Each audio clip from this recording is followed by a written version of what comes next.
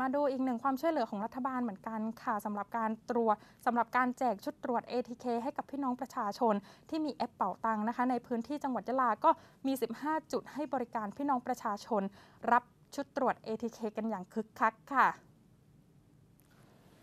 เปิด 15 จุดตรวจ แจกชุดโควิดฟรีผ่านแอปเป่าตังให้สำหรับกลุ่มเสี่ยงในพื้นที่จังหวัดยะลาแห่รับกันอย่างคึกคักนะคะสำหรับชุดตรวจ ATK ค่ะ เป็นการแจกฟรีให้กับพี่น้องประชาชนกลุ่มเสี่ยงผ่านแอปพลิเคชันเป่าตังวันนี้ค่ะที่ร้านสารพันยาในเขตเมืองเมืองยะลาค่ะบรรยากาศพบว่ามีกลุ่มเสี่ยงนะคะเดินทางเข้ามาสแกนรับชุดตรวจ ATK กันอย่างต่อเนื่องค่ะ ซึ่งทุกคนนะคะ 1 คนจะได้รับชุดตรวจ ATK 2 ชุดค่ะ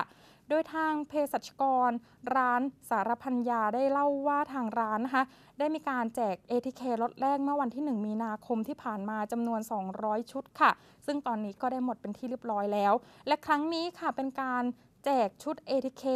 ลดที่ 2 ซึ่งมีจำนวน 300 ชุด โดยจะแจกให้พี่น้องประชาชนจนกว่าของจะหมดค่ะ ทั้งนี้นะคะทางร้านก็ขอความร่วมมือประชาชนที่ประสงค์รับชุดตรวจ ATK ให้ทำแบบประเมินตนเองในแอปเป่าตังให้เสร็จสิ้นเรียบร้อย เพื่อความสะดวกรวดเร็วในการรับชุดตรวจ ATK ค่ะ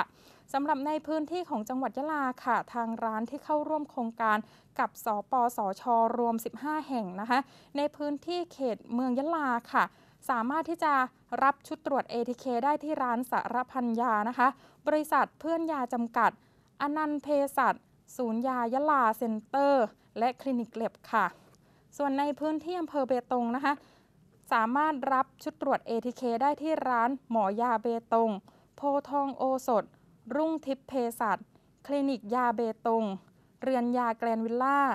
ร้านปัญญาเบตง และคลินิกเล็บค่ะ ส่วนในพื้นที่ของอำเภอบันนังสตานะคะก็สามารถรับได้ที่ร้านศูนย์ยาบันนังสตา ในพื้นที่อำเภอรามันสามารถรับชุดตรวจ ATK ได้ที่ร้านสารมัดเภสัชส่วนในพื้นที่ทานโตค่ะ ก็ขอรับชุดตรวจ ATK ได้ที่ร้านทัน